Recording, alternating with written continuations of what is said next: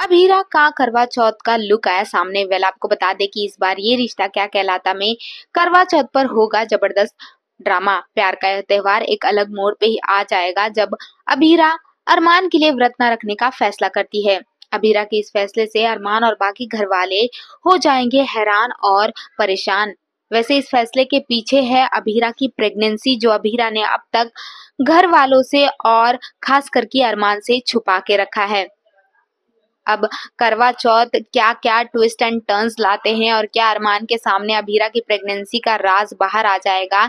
या फिर इस करवा चौथ पे अरमान और अभीरा के बीच प्यार की जगह आएँगी दूरियाँ? ये तो हमें ये रिश्ता के आने वाले एपिसोड में देखने को मिल ही जाएगा।